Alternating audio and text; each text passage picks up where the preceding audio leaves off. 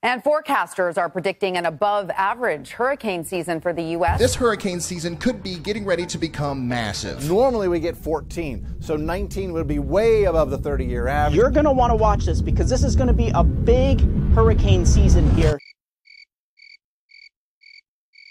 Out into the central Atlantic, everything very quiet. We've seen this, what, for weeks upon weeks. Just nothing going on, hardly a cloud in the sky. It's quiet a little too quiet. With the official Adjuster TV start of the 2022 hurricane season as of August 17th, 2022, we have had, drumroll please, a whopping three devastating tropical storms this year so far three. By this time last year, we were already down to H in the names with Category 1 Henri, which was the third hurricane of the season.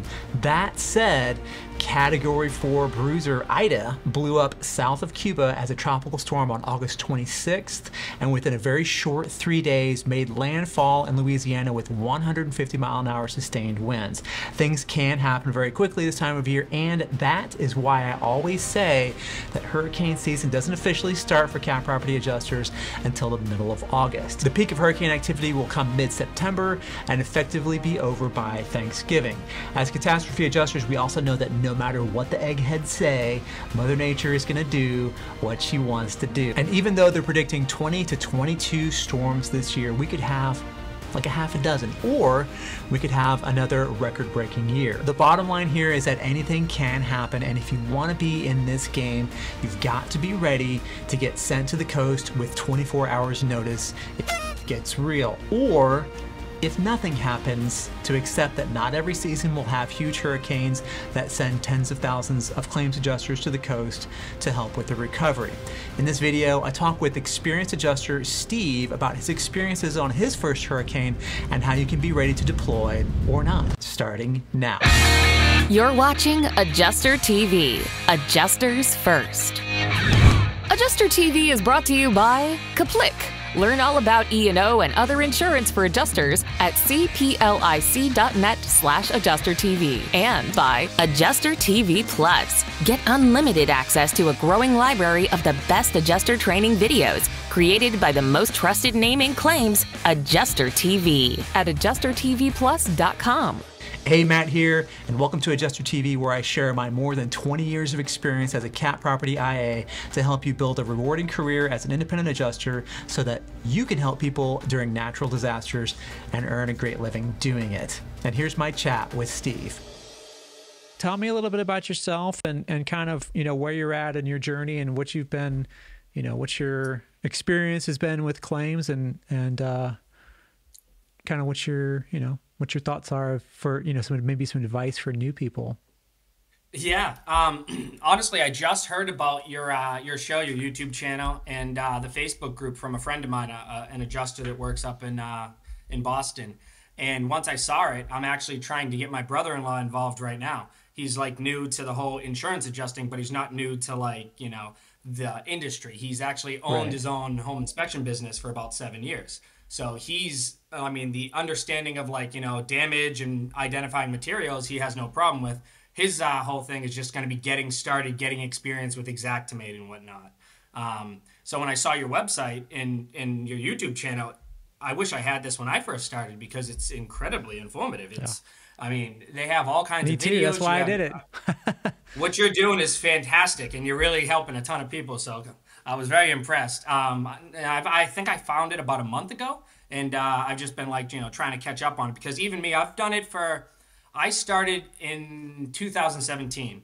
I watched the uh, first video of you and Dion, and he was explaining his start, yeah. and it's like, it's the exact same way I got started. Everybody went to Dallas and like Houston because of Hurricane Michael, and then nobody was there for Irma. And my brother is yeah. the one who got me involved. We both grew up in construction, you know you know, waking up at 5 a.m., destroying our bodies, doing flooring, you know, roofing, anything you can do. We just, you know, we worked hard. We, we were from Boston.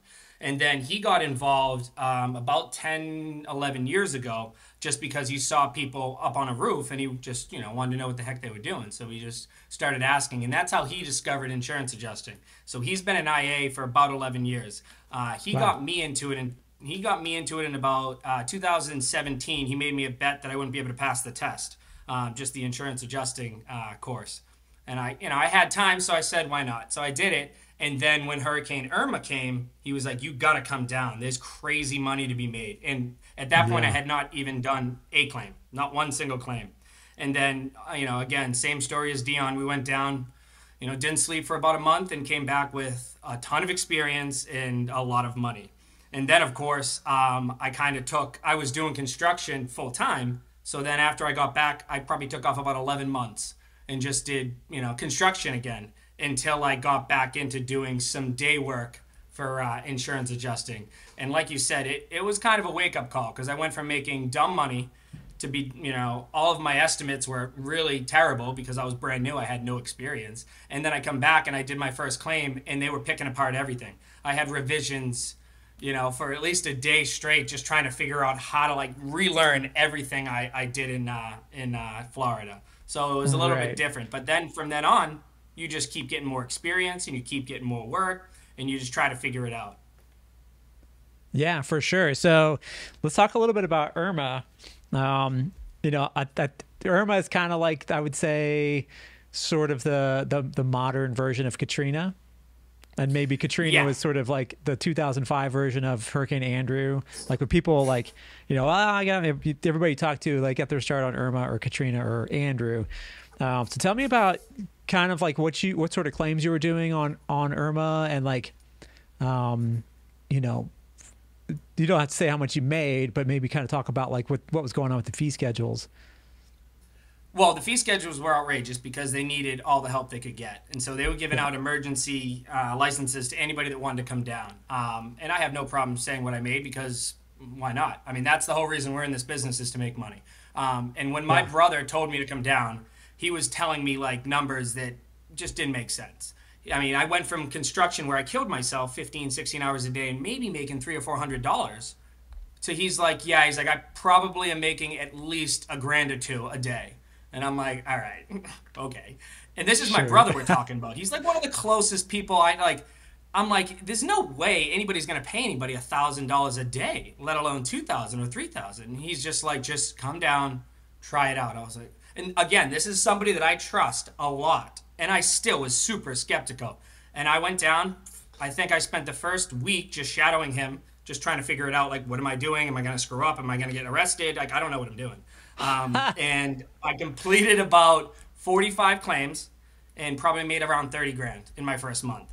Um, and then from there, it was like, all right, well, now I'm hooked because even if I only do this once a year for one storm, you know, I, at the Yeah. time I was a single guy. I didn't mind traveling. I'm like, this is a no brainer for me. Um, and again, that was like, yeah, that was quite an anomaly because we haven't had a storm like that. Um, I mean, Hurricane Ida was close, but nothing like that fee schedule. I think the fee schedules were like five to six times the normal rate.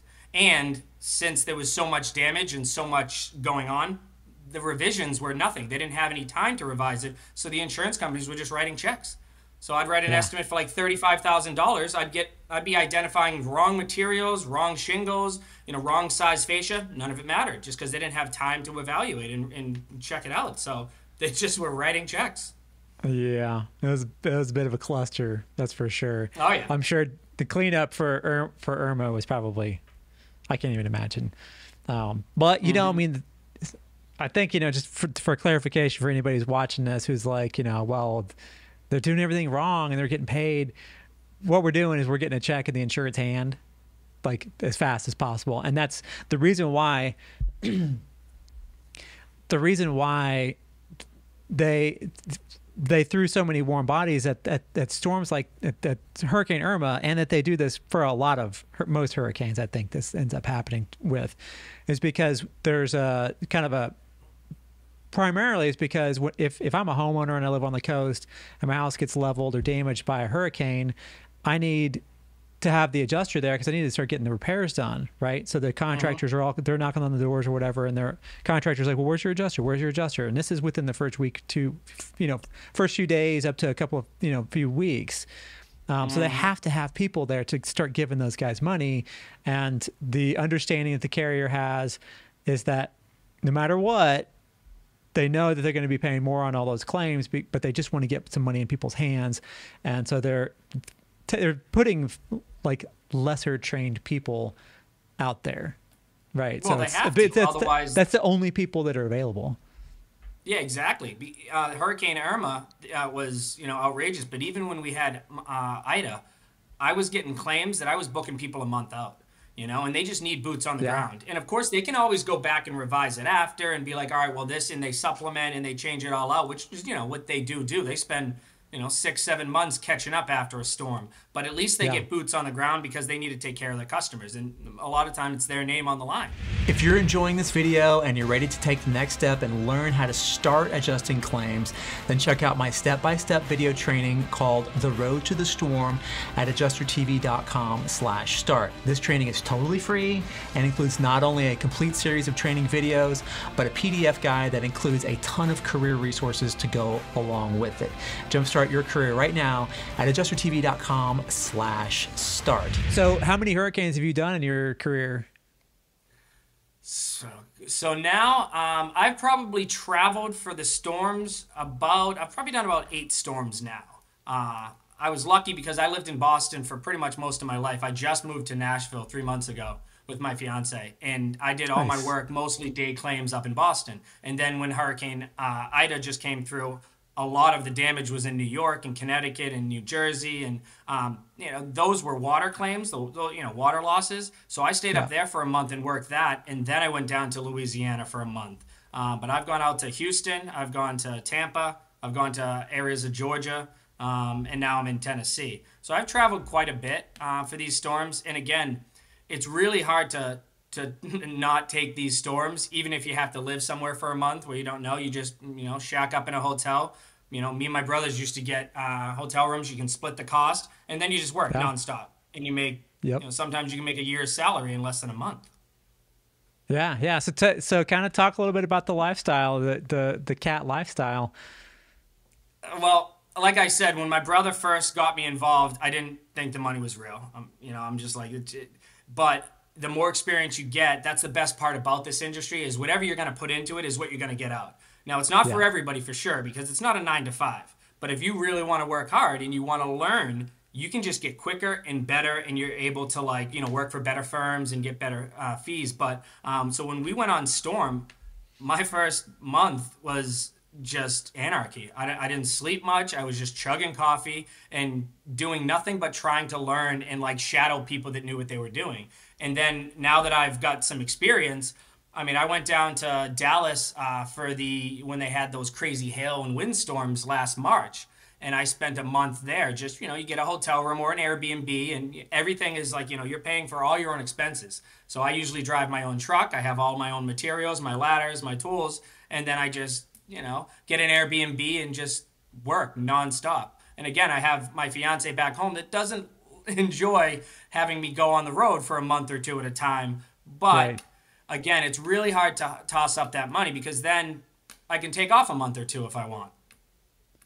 Oh yeah, for sure. So how do you handle uh like do you just go through the drive through all the time or do you have do you bring a hot plate or you stay at Staybridges? I or, usually like, bring an air fryer and I just go to the grocery store and just just pick up a ton of chicken and like hamburgers and you can do those in the like I have a whole I had hotel rooms and stuff and you can cook them in there just at a low temp. You're not l- allowed to, but it doesn't create smoke or anything like that. And that's the Right. cheapest and healthiest way to do it. But yeah, a lot of people unfortunately you don't have you know your your favorite gym on the road or you don't have a lot of like uh, fast food places that are even around. When we went to the storm in Georgia, we were in a, uh, an area that had no power for like three or four weeks. So we were traveling like Yeah. 45 minutes just to the town to do the claims with no cell reception, no phones, like you couldn't use anything, and then just doing our inspections and then driving an hour back and getting all of our work done at the hotels.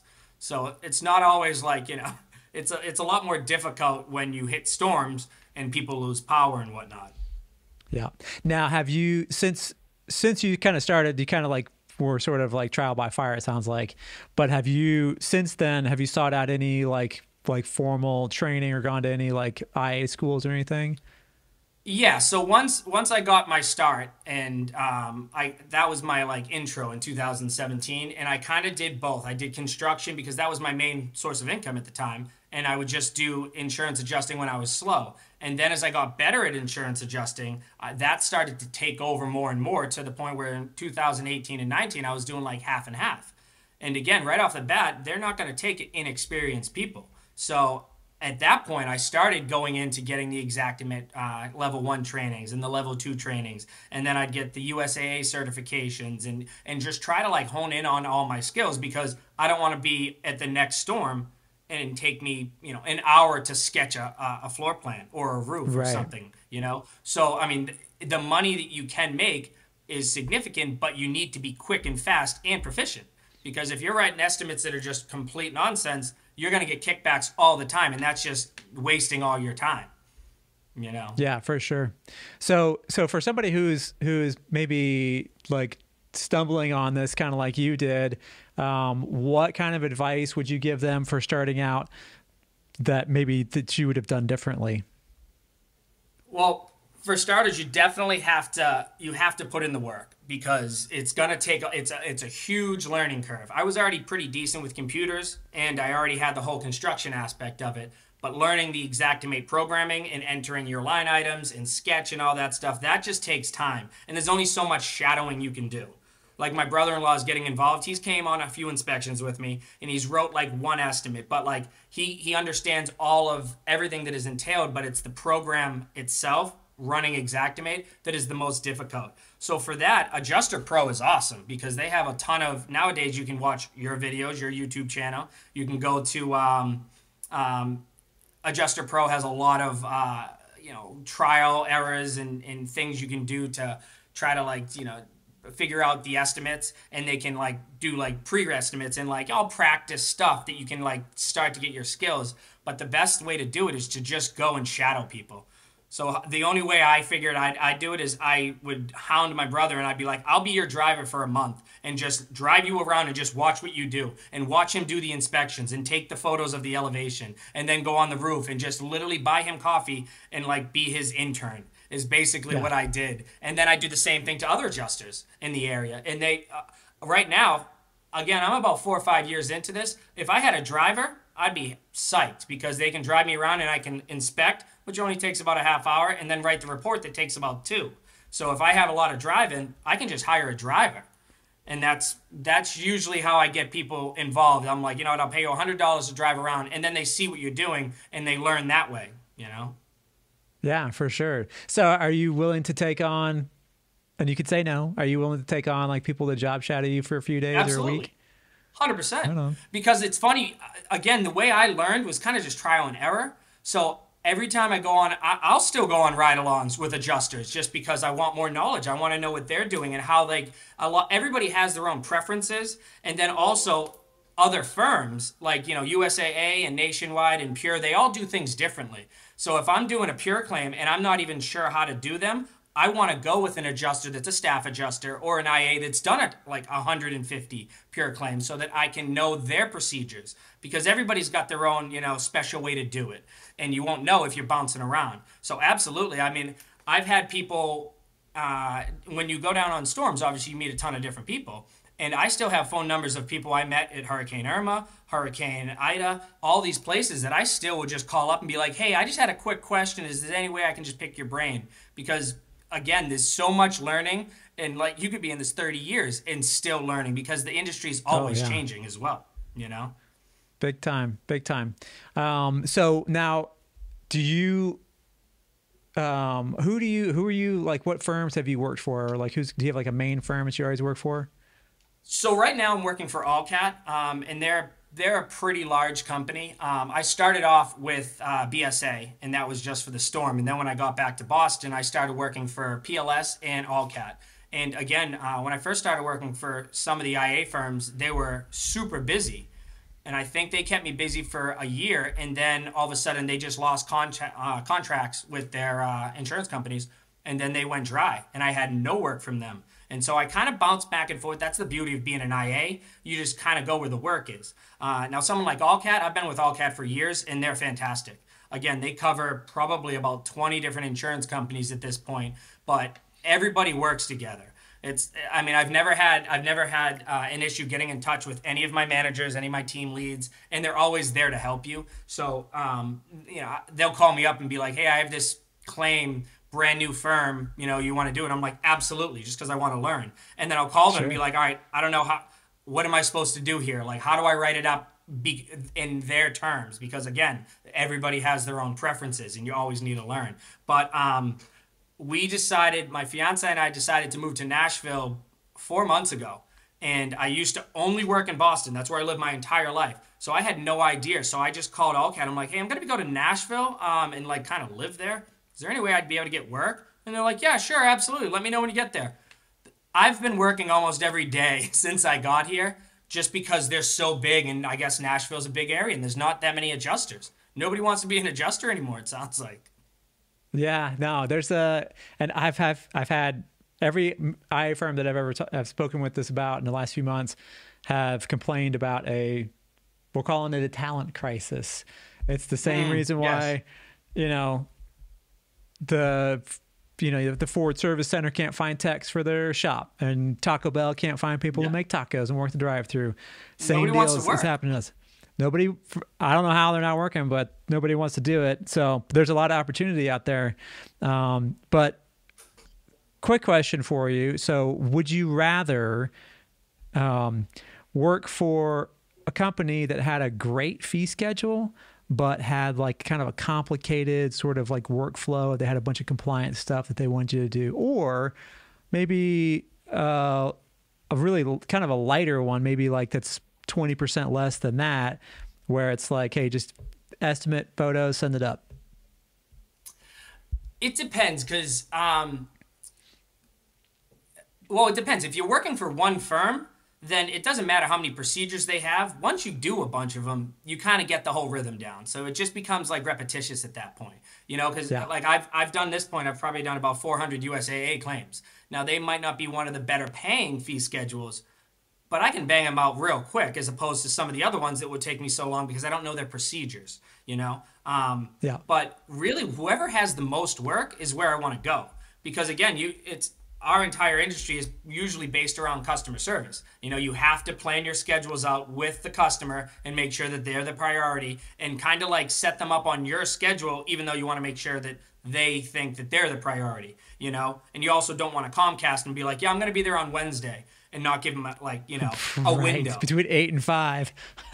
yeah, exactly. They're, they're, so they're you kind of like, then, but you also don't know. Sometimes it says wind damage and you show up and the house is gone it's just leveled. It's like, okay, well, yeah. this is going to take a little longer than something else, you know? So you kind of have to like gauge it. But whoever has the most work is kind of the ones I go after. And again, Allcats, since they cover so many different firms, they have so many different uh, areas that you can grow. It's such a big company. It's and they take care of you. They really do. So that's kind of what yeah. I like to go after.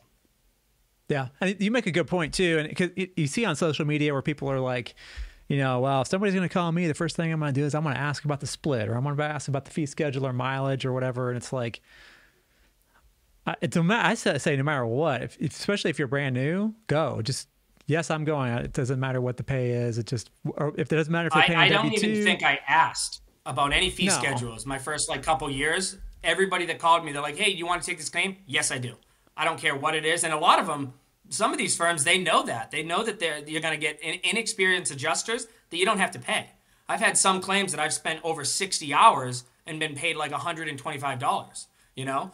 You're going to get those at the beginning just because you don't know any better you know? So there's certain yeah. firms that i won't even mention who they are but I'm not, i'll never work with them again just because they're so terrible and they don't you know they just they don't take care of their customers they don't take care of their uh, adjusters and they don't pay well you know? So I, i'm just like no they're just kind of like on my blacklist like and my managers know never to like give me those because it's just not worth it for me you know? right right. Yeah yeah well and, and i think that's that's something that takes a little a level of experience.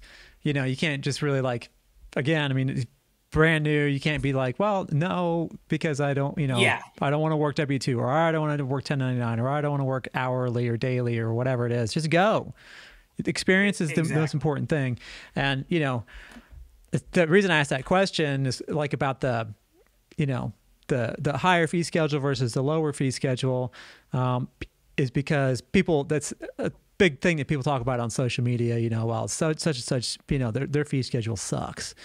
Well, maybe but it's it's not app maybe it's not apples to apples. Maybe it's apples to oranges right? Because maybe it's maybe you can do seven of those super easy in a day whereas you struggle to do four of the other one in a day. You're getting paid more but you know you're going to, to bed you know early with the other one and you don't have a bunch of headaches and and uh, it's it's it's kind of relative. But you brought up that kind of that third facet which is it really doesn't matter what the procedure is or what the compliance is is it's it's just part of the what am i doing next that's what i'm doing next right in the in your claims workflow i tell people this and they don't believe me but it's true when i first started i went and worked for pilot doing state farm claims and state mm-hmm. farm has i don't know if they do it now but they back then they had um, what they called RTs, or like they called it a reinspector trainer.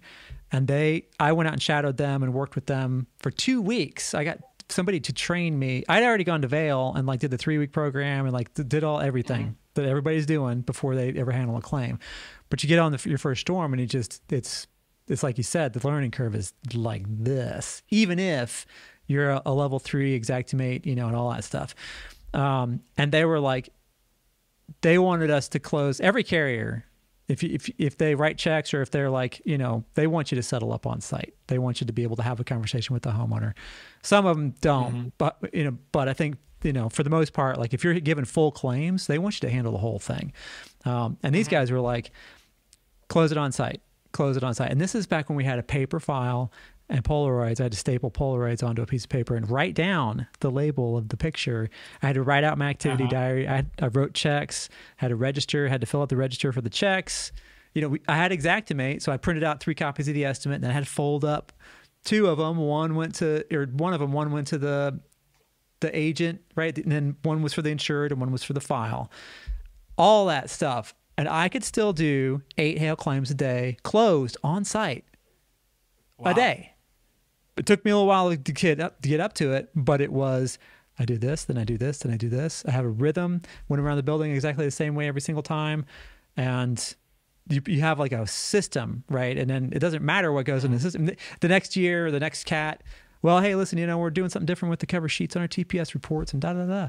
And then, okay, well, then I just incorporate that into my system. Everybody else is belly aching. I, I can't believe how many F9 notes I got to put in here. This is BS. It's, it's going to be more F9 notes than line items just make a macro with the F9 notes in it and move on. Exactly. It's like, yeah. so I don't know. You bring up that's a that's a really good point. As far as like, uh, you know, it's part of your workflow. So do you feel like you know coming from where like you started and doing 45 claims in a month, which is not bad for a first event, but you know I'm sure you're doing more than that. If you were went back in time and did that same storm again, you'd probably be doing double that, right? More like triple or quadruple because I, yeah. I had no clue what I was doing. Um, and again, for instance, when we went down to Hurricane Ida, I was only there a month, uh, but my brother was there two months, and he's got about, like I said, four or five years on top of me. So his experience, I feel like, is still like light years ahead of me. I feel like I have a ton to learn, and I can only get faster and better. And you know, people like him and people that have been in the industry, probably like you, and you know, 15 years experience, you hit a storm like Ida, you can probably make 200 grand in a couple months, you know, oh, yeah. um, or more. Um, you know, like I said, my brother's only about 10, 11 years, and I think he cleared probably just over 150 in two months. Um, and then uh, since I worked part up in Boston and then, you know, some New York, and then I was doing some driving around and I went to Louisiana, still, I think I cleared over 85 in two months. Um, so, like, again, being an independent, as long as you're willing to work and just put in the hours, you know, you don't want to take a day off because you take a day off, it's like I'm making a grand or two a day. Why would I take a day off? Like, right. what am I going to do? I'll relax in a month. Like, who cares? So it's definitely a lot of work, and obviously it's mentally fatiguing and and it's a drain because you're not you're not really taking care of yourself when you're on the road. But it's like, you know, what would you rather have? I'd rather work like hell for a month or two straight and then take off a couple weeks, you know? Oh, for sure. Yeah. And that's one of those things like it, depending on the, the, the type of event, like if it's a a, big hurricane, um, and it's one of your like my first my first five years as an adjuster. I started at ninety nine. First five years, I was I didn't do a single hurricane. There weren't really any hurricane. I mean, there was some, but they were little. Or I was like, I was already really really dug into a hailstorm. It's somewhere in the Midwest, and a claim is a claim, right? I mean, granted, you know, you lose the opportunity to get like the the ninety to one hundred ten thousand dollar months like people had on Irma, um, just stick, staying on your hailstorm. Hail is always my favorite thing to do because it's it's uh, uh, not everybody knows right away that they have hail damage, right? So they like, you know, they may not find out that they could have a hail claim for several weeks or a month or two or three months after the storm when the, the contractors start rolling through, or they see their neighbor get the, finally th- they got the the contractor lined up and they're getting the roof put on. So so historically, and I don't know what it's like exactly these days, but hailstorms were always like my bread and butter. And I was like, I knew that if I got sent to Des Moines or Omaha or Kansas City or St. Louis or Minneapolis or whatever, that on, on two and a half inch hail, that's where I'm gonna that's where I'm gonna be for the rest of the summer because I'm gonna lock into that and just like, um, so, you know, as opposed to um, as opposed to like a hurricane where it, it may be, you know, everybody knows they have catastrophic damage and the first few waves of adjusters may be in and out, you know, relatively quickly. Um, but you get in, you know, kind of like snuggle into your hotel and you got your, you know, if you, if you stay at a Staybridge or you're staying with buddies and you like, like, where our favorite place to stay was like Staybridges because you could get, like, they'd have like a two bedroom suite and, you Yep. know, Or the extended stays that you have like a little kitchenette.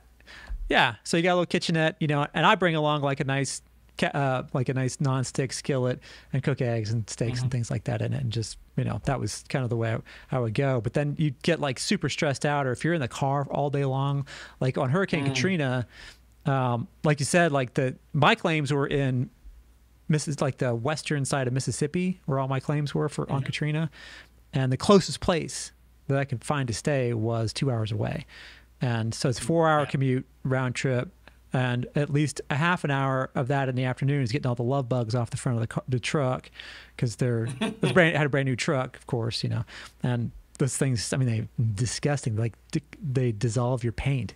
Anyway, so then it's like, well, and the last thing I want to do at nine o'clock at night when I get back to my RV, which is what I had back in- on Katrina, is make dinner.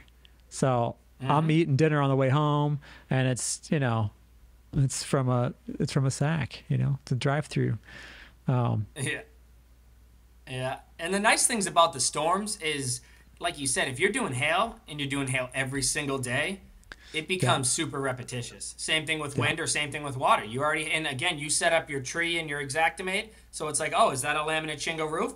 Copy and paste, and you put everything in there. So we like we set up our little uh, trees so that we have everything in there. You have the shingles, remove, fell, drip, you know, ridge vents, and I just list all of the vents so that what I could do is copy everything and just click on which ones aren't there. If there's no turtle vents, just Yeah. get rid of it. If there's no ridge cap, you know, delete it. And and then you're writing up your estimates and it's taking you half the time because you're doing it nonstop. And then you again, you can just close as many as you possibly can as long as you're awake. You just keep working. Yeah, yeah, for sure. And again, I mean, it's like you said, like as far as like taking a day off, I didn't, I didn't really usually take days off until I sort of was forced to, and that was when there just wasn't enough volume. Like I'm just ran out of stuff to do, so I'm going to take Sunday off, right? And then Monday mm-hmm. rolls around and they drop 15 more claims in my queue and off to the races again. But Yeah. if it's, it, or if it rained.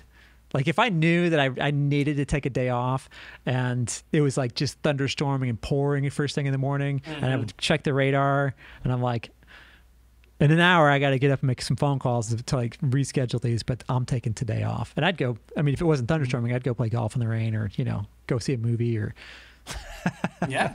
just to like Yeah. do, cause you know, you I don't want to take a day you- you off have and then to. like, Yeah. you do, you do, but you don't want to like have like your day off be like the day that you're doing laundry and taking getting a go to the dentist or going getting an oil change and things like that. You just want it to be a day off of everything. Mm-hmm. So, I would try to plan in. I would try to do like in, build into my schedule, especially if it starts to lighten up towards like the middle or the like the end ish of a storm. like, all right, well, I'm going to get my oil change after this two o'clock and put it in my schedule, or you know, go to the mm-hmm. grocery store or whatever, right? And then a day off was like a complete day off. That's the day that you go to happy hour the, day, the, the evening before with your buddies, because you know you're not going to have to get up the next day. Yeah, yeah.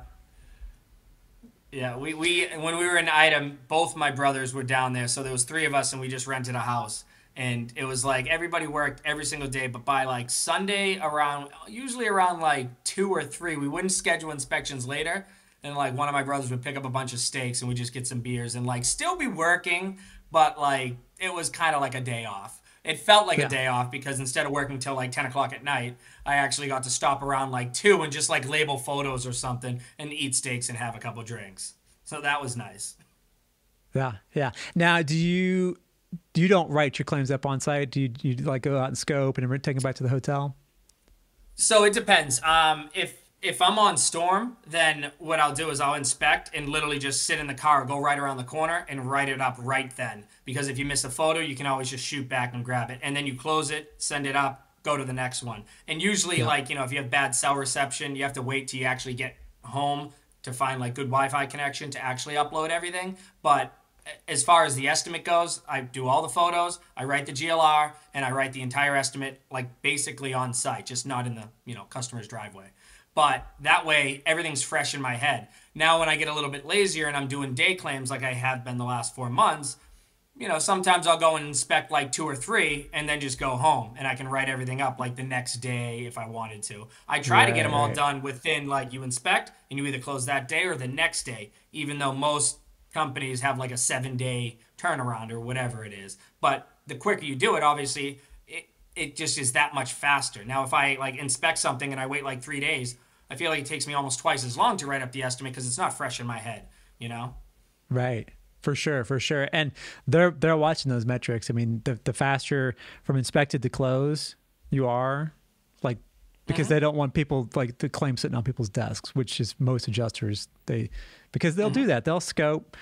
And I'm I'm really pleased to hear that you, you, you at least at the, I'm sure at the minimum you just throw the photos in there, but um, not everybody does it that way. Most I think most adjusters don't do it that way because that's like the, the conventional wisdom is it's like, well, if it's the sun's out, then I need to be up on a roof. Or, or and at night, then I can write them up or whatever. But they always, I think what happens with those guys, I know what happens with those guys is that they, they'll scope six to eight or 10, and then they'll say, well, I'll write these up tonight. And then they write four. And then they do that mm-hmm. every day and they get, they start snowballing and start getting behind. And it's, it's, when people go on these big hurricanes and they talk to or they talk to people on social media or they or they talk to guys at orientation like oh yeah well I'm just gonna get out there and scope and write them up at night or I'm gonna scope like some guys I'm gonna scope everything this week and then I'm gonna mm. go home and write them up. Ah. Uh, have you heard, have you heard Yeah, you guys can't really that? do that.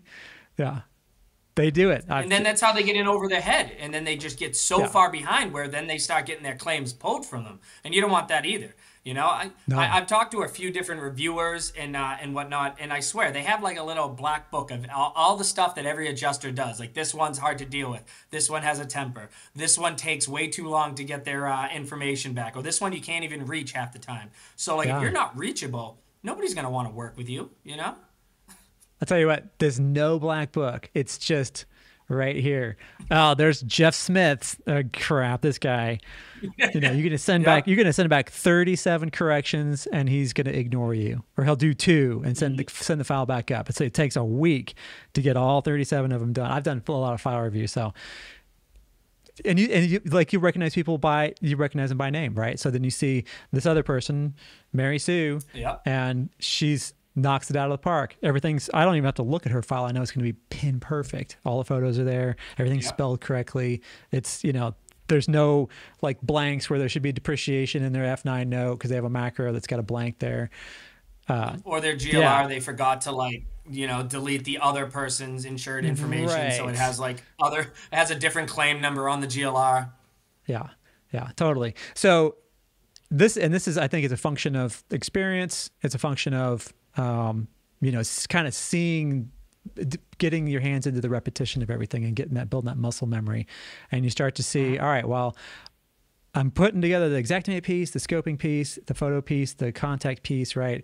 And those are the big pieces, you know. And then as you go, you start to like hone things down and and build workflows into everything so that you can be a lot more efficient with everything and be faster and faster and faster, but still keeping the same level of quality or higher and Correct. having you know the, the customer feels like they got a fair shake from you you know if if you're getting a uh, like a qa performance review thing there's not like a consistently you're making everybody mad because you're you know, you're just not a don't have good bedside manner or you're not thinking about them before yourself.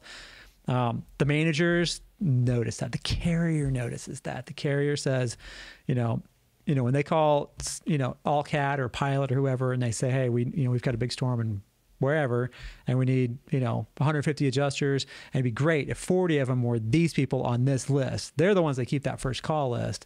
So the faster you can turn those files around keep that quality up um, you know i would tell you and i'm you know i wasn't giving all that advice to you necessarily but this one i might suggest depending on you know the reason why you're pulling out of the insurance driveway and going around the corner i stay right in front of the insurance house because invariably what happens it's and it saves me phone calls. If they if i'm sitting in front of the insurance house I'm, I'm importing and labeling photos and i'm writing the estimate diary glr whole nine yards till it's it's i can hit the complete button and then just when i get back to the hotel hook up to the internet it goes up right? If i'm uh-huh. sitting there writing that up they'll come out they'll run out to the driveway and tap on my window hey i remember when you asked me when you got here if i if if we if we have, we we saw any like uh, water damage on the inside, and we said no. Well, we actually we, we, we thought about it. And we went and looked, and we did find one. Do you mind taking a look at it? We found something in the, the room, or the grill cover was actually we found it. It was you know one of the kids was playing with it, and it was stuffed under the something in the garage, and it's got holes in it. You get a picture of it. That saves me a full phone tag, and it's a small thing. Mm-hmm. But again, I mean, you're right. I mean, if you're sitting in front of the house and you forgot a photo, this is the biggest thing. Or you forgot a measurement, right? Oh, mm. sh- I didn't get those those awnings on the back. What was that? And then you're guessing, right? Well, that looks like four foot, and that one looks like two foot, and, that- and then And I your never even estimate of that. starts to That's get. actually a pretty good idea. Because then they'd be like, why is he out in front? And just be like, I'm going to finish the estimate. Then they're actually happy. They're going to be like, oh, wow, that's awesome. He's going to finish it right now so that, you know, Oh, yeah, the company will have it within the day. So that's actually and you listen, you can make that you can make that part of your spiel. You know, I'm gonna, you know, thank you so much. Everything. I don't know if you write the estimate, go up and go, you know, settle up with them or not. Which, whichever way, I would say, hey, yeah, I'm just gonna. Don't mind me. I'll just be sitting down there at the end of the driveway, and I'm gonna write this thing up. And uh, before I drive off, your file will be done, and it'll be on to the next step. So if you have any questions, give me a call. Here's my card. Boom. I like that. I might have to do that. Yeah, that's a that's a customer service win. I think that's probably more effective than sending Christmas cards or thank you postcards or whatever that people say. Oh, I, Yep. I send all my insureds a thank you card. I think that's a good idea, but I I think that doing it, you know, telling them that they- they're on to the next step already instead of having to wait because they don't want to wait for anything, right? And, and that's you know you talk about uncertainty and anxiety they're if they have to wait and they don't know how long they have to wait for then mm-hmm. the anxiety level just cranks. I mean, it's and they're that's when they start calling their agent, even if it's been two days or whatever. If they know, even if you even if you don't do that, even if you don't close it on site and you don't say I'm gonna, it'll be on to the next. I wouldn't lie because you never know. You might get. I wouldn't say that you're going to do that and not do it. Mm. But even if you're like, you know, I, I scope these on this day and then I write them up, you know, the evening, and I should have it done within 24 hours of, of our meeting today, and then it'll be moved moved on to the next step. And if you haven't, if you don't hear anything from anybody within, you know, a week, or if you, you know, I'm going to call you before five o'clock on Friday, whatever it is, set an expectation for the homeowner, um, so that they know where they're at. Always, I, I think that you know, depending on you know, obviously what kind of storm you're working, or if if they're like just go out and photo and scope, and we'll take care of everything, then it's kind of out of your hands. But you know, the best claims I think are the ones where you get full responsibility for the whole thing, and you know, you're even if you're having to write checks. I mean, like you said, you can build that into your system and everything. So yeah. So any uh, any any final thoughts for you know for new folks or maybe experienced adjusters, um, you know, people that are kind of wanting to take things to the next level or get started? Well, again, it's it's certainly not a an easy industry to get into and learn, but uh, if you're willing to put in the effort and the work, I mean, it can be incredibly profitable and it can literally set you up. You can have a career and in, in less than like two years, if you really wanted to like put in the effort, like again, I wouldn't quit your day job, but if you wanted to get your license and start working and do it part time and then continue growing and getting all your skills, I mean, within a year or two, you could have a career easy, no problem, you know, again, but you have to be willing to put in the work. My first month, I think I wanted to quit. I was overwhelmed almost every day. I'm like, there's no way. How am I going to do all this? Like, it's it's incredibly overwhelming. But as you keep doing it, it just gets easier and quicker. And uh, I mean, it it really is. And I mean, now I'm completely out of construction. I've been down here four months. I've just been doing day claims for Allcat, and they keep me super busy, as busy as I want, to the point where I have to be like, all right, I need like a week off because I haven't had a day. So I mean, I'll take some time off. But I mean, again, five years I've been doing this, and I did a lot of construction during that time. So I think it's a great industry for young kids, especially in their 20s and 30s, because a lot of the guys that I meet, all the adjusters are always a lot older, you know? And it, I, I feel like it's it's if we can get a lot of the younger crew in this, everybody works off of each other and everybody can help each other out. You know, it's like a teamwork game. For sure, for sure. Well, listen, Steve, I really appreciate you coming on. Um, I, I think your insights are going to help people for sure. And I, I know when we talked via email, you know, you, you felt like you you had some things to share, and I, I, this is I think this has been a really cool conversation. So thank you so much for coming on, man. Trust me, I appreciate it. Thanks for having me. You uh, keep doing what you're doing because you guys are spreading a lot of knowledge out there, and you're gonna get a lot of people involved. So anybody in the Nashville area, send them my way. I'd be more than happy to take them on a ride along. They can be my driver, or even pay them. Hey, yeah, all right, there you go. cool, man. Well, listen, have a good one, and uh, we'll catch up with you later. All right, thanks a lot, Matt. Take it easy. Yeah, see ya. IA firms are hiring. Find out what they're looking for in this video titled What IA Firms Are Looking For in New Adjusters, which is a Crawford and Company interview. And as always, thank you so much for watching and have a great storm.